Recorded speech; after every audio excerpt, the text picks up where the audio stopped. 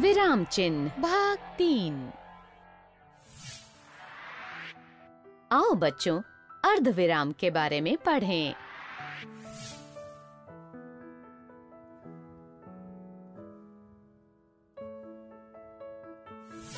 अर्ध विराम का प्रयोग सामान्यतः उपवाक्यों के अंत में होता है।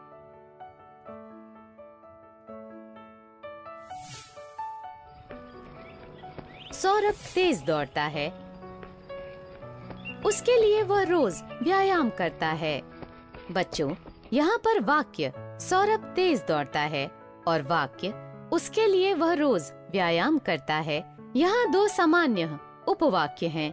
इन दोनों वाक्यों के बीच में अर्ध विराम चिन्ह का प्रयोग हुआ आओ बच्चों, योजक चिन्ह के बारे में पढ़ें। योजक चिन्ह का प्रयोग समासिक पदों के तथा शब्दों सा, सी से पहले किया जाता है। जैसे अच्छा अच्छा धीरे धीरे, यहाँ पर अच्छा अच्छा धीरे धीरे समासिक शब्द हैं। तो इसलिए इनके बीच में योजक चिन्ह का प्रयोग हुआ है। इसी प्रकार, लंबी सी, गोरा सा शब्दों में, सी, सा, से, पहले योजक चिन्ह का प्रयोग हुआ है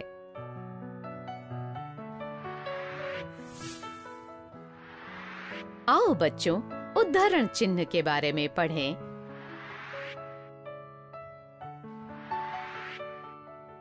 बच्चों उदाहरण चिन्ह के दो प्रकार होते हैं एक इकहरा दो, दोहरा।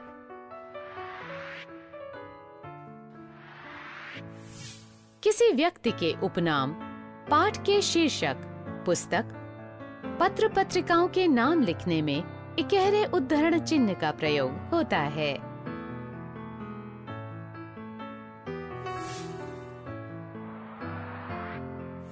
जैसे, आओ बच्चों, आज पाठ विराम चिन्ह के बारे में पढ़ें। इस वाक्य में विराम चिन्ह को बताने के लिए इकहरा चिन्ह का प्रयोग किया गया है। आओ बच्चों, इसका दूसरा उदाहरण देखें। कवि राम कुमार शर्मा बादल ने मुझे पुरस्कार दिया। इस वाक्य में बादल कवि के उपनाम को बता रहा है।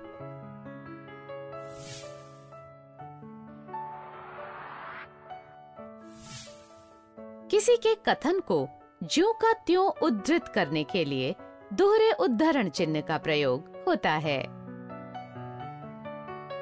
जैसे, नेताजी सुभाष चंद्र बोस ने कहा, तुम मुझे खून दो, मैं तुम्हें आज़ादी दूँगा।